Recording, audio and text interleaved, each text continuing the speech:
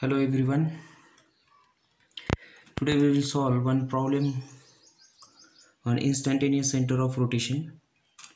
Here is the problem statement. Problem is on slider crank mechanism. Crank length given is 6 centimeters. Connecting rod length is 25 centimeters. Crank speed is 31 radian per second clockwise crank angle is 30 degrees from IDC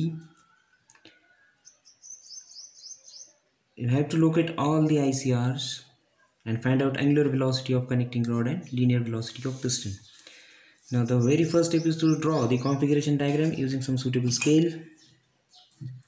Now the dimensions given are 6 centimeter and 25 centimeters. So for A4 size page we'll take scale of 1 centimeter equals to 2 centimeters. So draw the configuration diagram. This is the line of stroke of piston.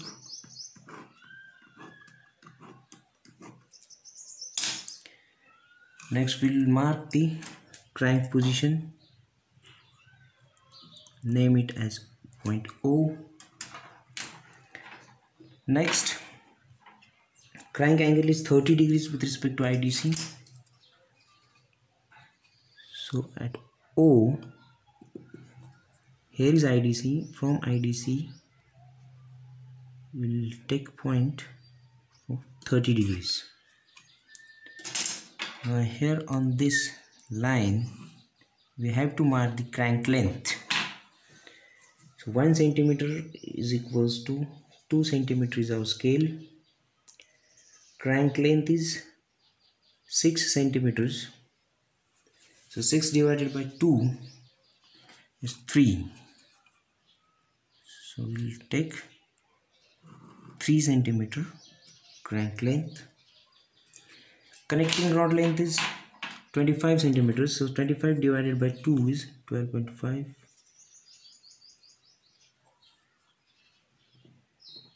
so this is 12.5 centimeters.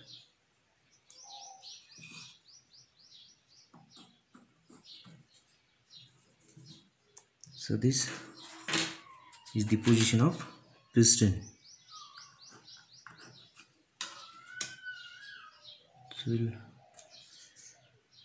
draw the piston. Draw the connecting rod name this point as C for crank pin, P for piston pin. Now after the configuration diagram is drawn, we need to number the links. So we'll start numbering the links from fixed link. Fixed link is link number 1. Crank is link number 2. Connecting rod is link number 3. Piston is link number 4. Now after this, Determine the number of ICs present in the mechanism. For this, we'll use the equation n equals to L L minus 1 divided by 2 where L stands for total number of links. So there are 4 links here. So total number of ICRs are 6. So we have to look at all these 6 ICs. For that,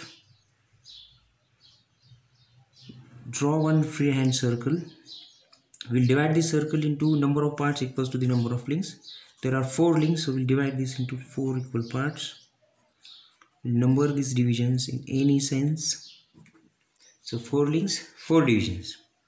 Now we'll start locating the ICs we'll start from link number one.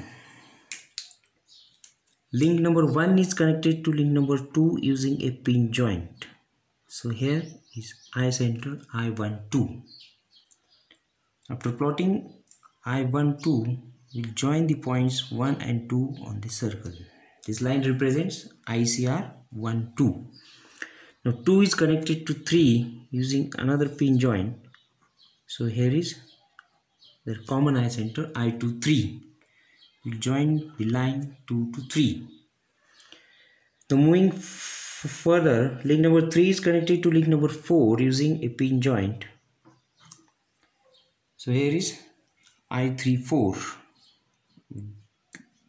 draw the line i34 now link number 4 is connected to link number 1 using a prismatic pair whose center of rotation will lie at infinity. So to locate that i center which is at infinity we need to draw a line perpendicular to the line of stroke of piston.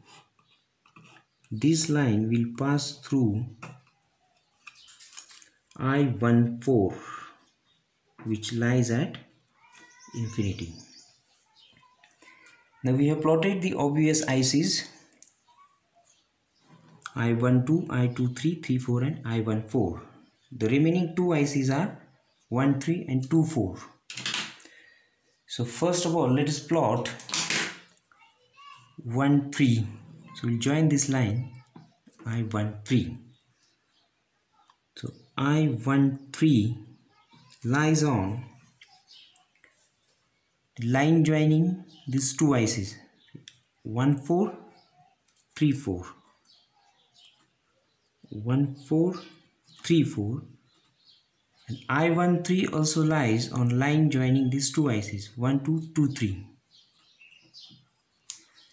what we have done we have identified the two common triangles or the two triangles of which 1 3 is the common side.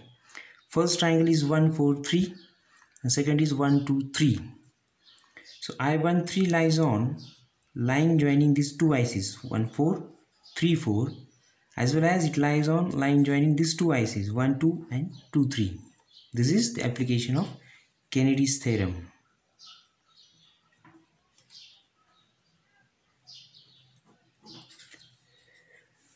Now let us draw these two lines. So first line is line joining 1 4 3 4 so here is 1 4 3 4 this is the first line. Second line is line joining these two ICs 1 2 2 3 here is 1 2 here is 2 3 so we will extend this line.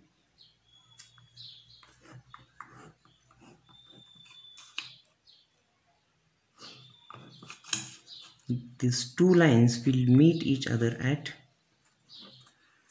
I 1 3 so here is my I center I13 the next we'll plot I24 so for that first of all I will join this to 4 and identify the two triangles of which I24 is a common side now here is the first triangle 1 2 1 4 and second triangle is 2 3 3 4 so I24 will be located at the intersection of line joining these two axes first line is 1 2 1 4 this is 1 2 and this is 1 4 which lies at infinity on this line. So to reach 1 4 at infinity from 1 2 we will draw a line parallel to this line which is already passing through I14 at infinity. So this line will pass uh, uh, through I14 at infinity so this is the first line joining i12 and I14. Second is the line joining 2 3 and 3 4 so here is 2 3 here is 3 4 this is my second line.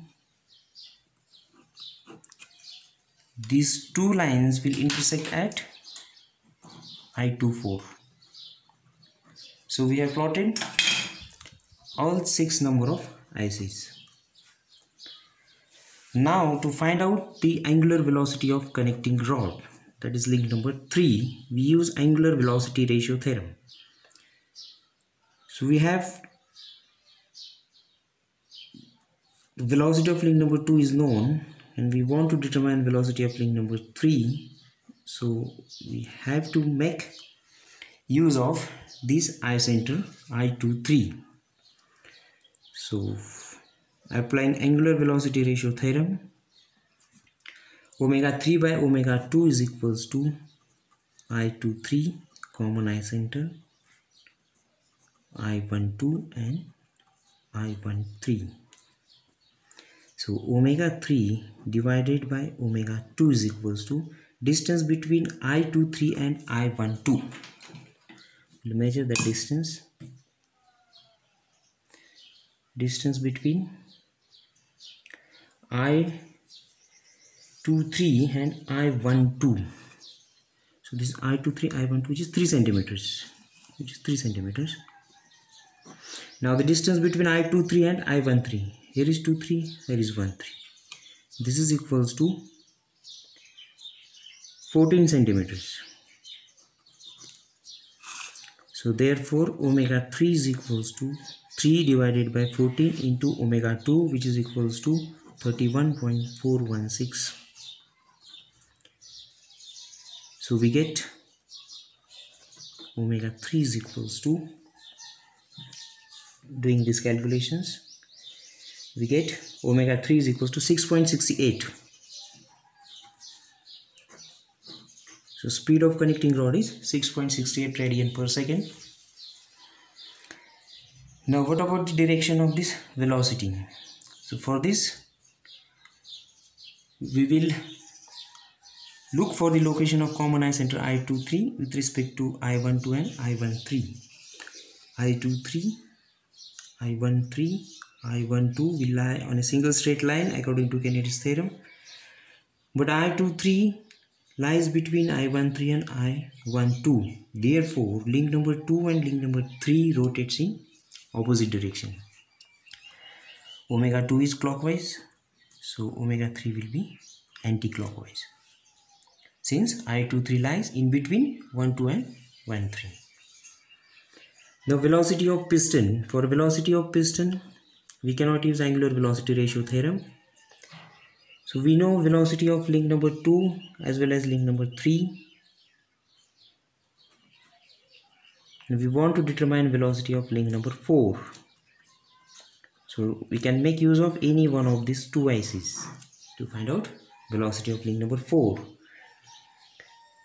so let us take I24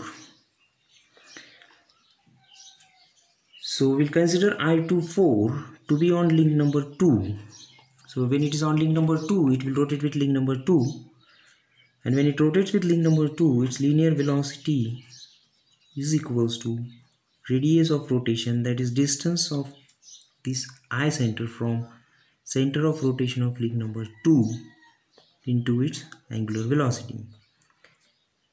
Now we need to multiply this by scale factor. I24 to i12 this distance is equals to 1.8 centimeters. This distance is equals to 1.8 centimeters into omega 2 is 31.416 into scale factor is 2 so velocity of i24 when it lies on link number 2 is 106.814 centimeter per second.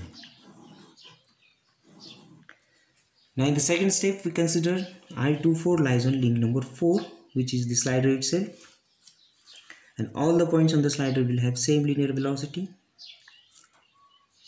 I24 now lies on link number 4 and we know the linear velocity of I24 so sliding velocity of link number 4 is nothing but the velocity of I24 which is equals to 106.8 centimeter per second.